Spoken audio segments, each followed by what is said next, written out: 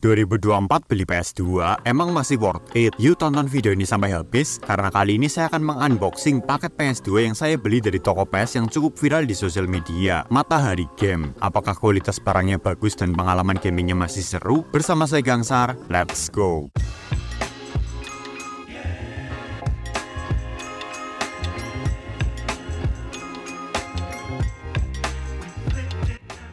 PS2 adalah konsol game yang sudah dirilis sejak 24 tahun yang lalu. Walaupun di zaman sekarang kebanyakan unitnya sudah banyak yang rusak dan bisa diganti dengan emulator yang bisa kamu mainkan di PC maupun HP, namun untuk kolektor sejati pasti lebih bersemangat untuk memiliki unit aslinya. Ditambah experience yang didapat dari bermain PS2 asli itu lebih seru daripada emulator. Di emulator kita harus berpusing-pusing dahulu untuk menginstal dan mendownload gamenya satu-satu. Di PS2 asli sudah satu paket, tinggal bayar lalu mainkan. Tak perlu ribet. Nah masalahnya adalah adalah apakah membeli PS2 asli di zaman sekarang direkomendasikan mengingat kita harus bertaruh ke penjual. Mereka akan memberi unit yang bagus atau setengah rusak. Jadi sekitar dua minggu yang lalu, saya memposting sebuah story Instagram yang berisi polling untuk memilih toko PS online berkualitas mana yang seharusnya saya beli produknya untuk dijadikan bahan konten di YouTube. Nah, berkat partisipasi follower Instagram Ria Gadget, terkumpul ratusan vote yang menghasilkan 63% kemenangan untuk toko Matahari Game, diikuti oleh GS Shop dengan 29% dan 6% untuk Andromeda Jaya. Akhirnya saat itu juga saya langsung memutuskan untuk membeli PS2 di sana. Sebenarnya saya sudah punya PS2 ya teman-teman, tapi unitnya saya investasikan di usaha sewa keluar PS harian. Karena ternyata permintaan pasar untuk bermain PS2 itu masih lumayan tinggi di daerah saya. Maka jika sedang disewa, saya jadi tidak bisa memainkannya. Akhirnya saya memutuskan untuk membeli lagi saja yang khusus untuk dikoleksi dan dimainkan. Nah penasaran dengan koleksi PS2 yang saya dapat dari toko Matahari Game Store ini? Apakah berkualitas dan masih worth it untuk dimiliki di zaman sekarang? Kali ini saya akan bahas dari semua sisi. Yuk, langsung saja kita masuk ke pembahasannya.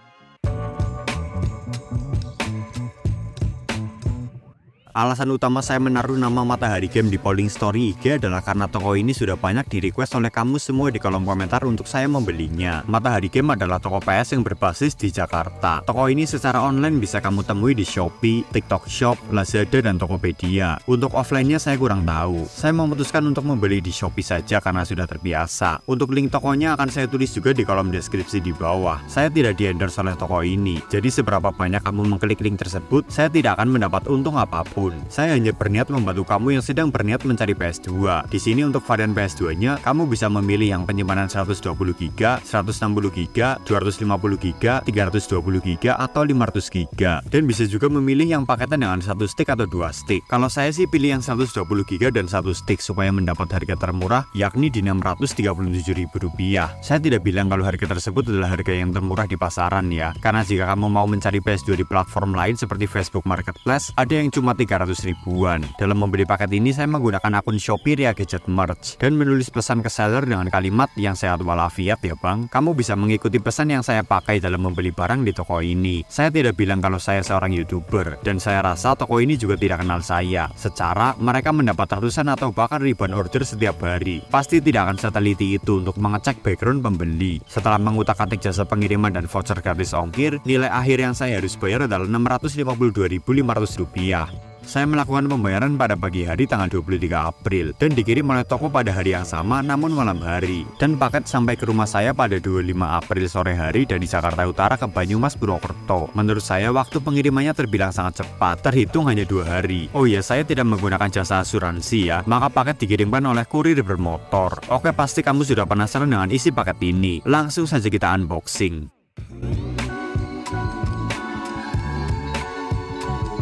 Dari kualitas packaging saya cukup mengapresiasi, rapih dan tak lupa disertai lakban fragile sebagai bahan peringatan ke oknum jasa kirim yang suka banting-banting paket. Kualitasnya sangat mirip dengan kualitas packaging dari toko Ferry Pratondo. Di bagian luar, paket dibungkus dengan bubble wrap sebanyak 3-4 lapis. Lalu di dalamnya ada box PS2 bergambar Spider-Man. Sebelumnya saya pernah melihat box ini di video review PS2 Ferry Pratondo. Mungkin ini adalah barang dari produsen PS2 refurbished yang sama ya.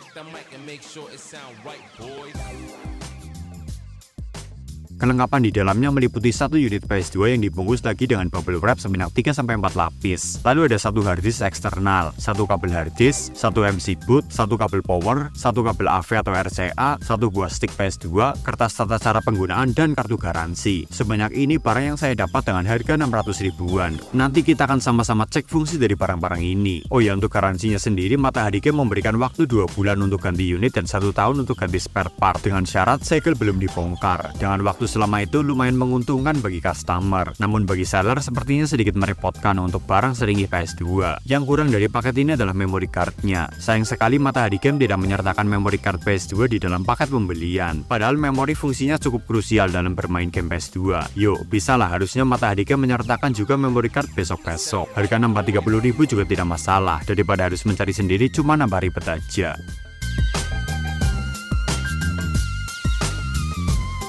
Untuk kualitas fisik semua barang di dalam paket pembelian, saya bisa bilang bagus karena semuanya masih baru. Mulai dari stick baru, kabel power baru, kabel AV baru, harddisk baru, kabel harddisk baru, sampai MC boot baru. Kecuali untuk unit PS-nya second tapi tidak termasuk buluk kok. Hanya ada sedikit debu yang perlu dibersihkan. Sisanya lumayan lah, tidak ada bagian yang retak dan lubang-lubang port juga cukup bersih.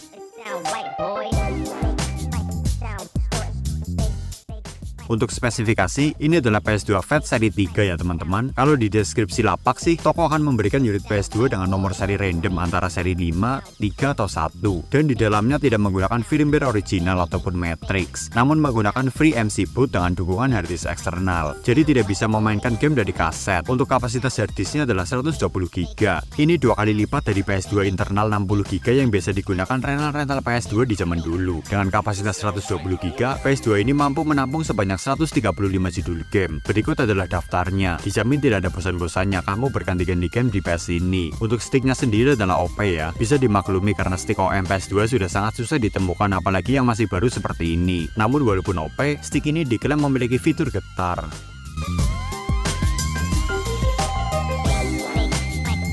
Selanjutnya kita beralih ke pembahasan cara penggunaan. Pertama kita hubungkan dulu PS2 dengan kabel power lalu colokkan ke stop kontak.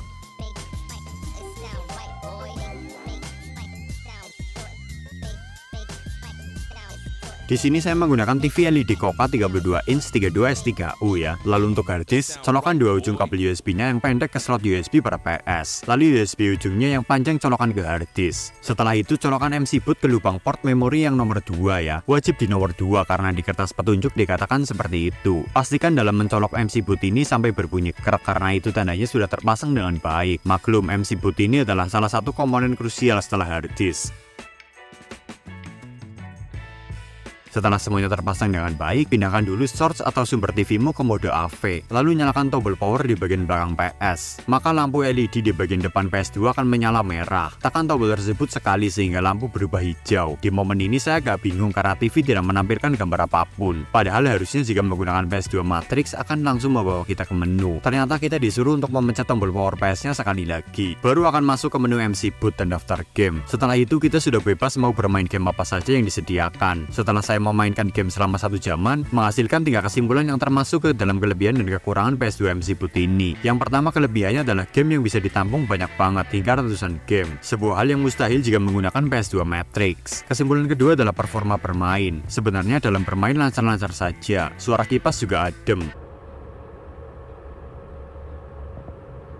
Namun yang mengganggu adalah proses loadingnya yang terasa lebih lama dari PS2 Matrix. Lalu saat loading dari menu awal ke game pilihan juga ada tampilan RGB yang membingungkan saya di awal. Saya kira ada error. Ternyata memang proses masuk ke gamenya seperti itu. Lamanya hanya di bagian loading ya teman-teman, bukan saat bermain. Dan di saat video intro game juga patah-patah. Lalu kesimpulan ketiga adalah grafik yang menyakiti mata. Jujur saja, grafik PS2 ini jika dimainkan di TV LED burik banget. Gambarnya juga gak penuh, ada sedikit sisa hitam di pinggirannya. Mungkin ini efek dari bermain PS2 yang notabene beresolusi 480p di TV 720p. Oh iya, untuk mematikan PS2 ini agak berbeda dengan PS2 Matrix. Jika di PS2 Matrix cukup pencet sekali saja tombol powernya, di PS2 MC Boot ini hal itu akan membawa kita kembali ke menu awal lagi. Dan untuk mematikannya kita harus melakukannya lewat menu matikan PS dengan stick. Mirip seperti cara mematikan PS3 dan PS4. Kalau ditanya pernahkah mengalami kejadian macet, jawabannya pernah. Setelah kurang lebih satu minggu ini, ada 2-3 kali kejadian game macet. Dan saat PS dinyalakan ulang, kadang tidak mau ngangkat sampai ke menu. Untuk mengatasi hal ini biasanya saya tinggalkan saja PS-nya, lalu nyalakan lagi beberapa jam kemudian.